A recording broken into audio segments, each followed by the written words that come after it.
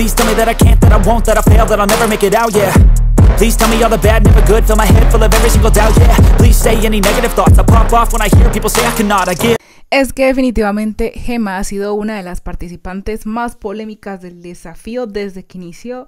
Se ha robado todas las miradas, ha sido el centro de atención por todo pues ese cuento que maneja con lo espiritual. Al principio no encajaba con sus compañeros hasta que al final, gracias a un ritual que ella hizo con sus compañeros, ganaron la primera prueba.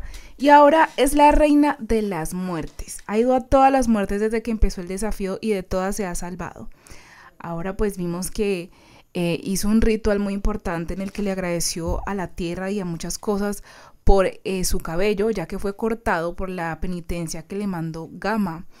Gema ha demostrado de que está hecha, pues muchos al principio pensaban que era muy débil, pero ahora sacó todos sus poderes y ahora es la reina de las muertes, quieran o no y será la cabeza ahora de Beta porque pues cree mucho en ella, tanto en lo espiritual y en su potencial. ¿Ustedes qué opinan de esto? Ah, déjenmelo saber en los comentarios.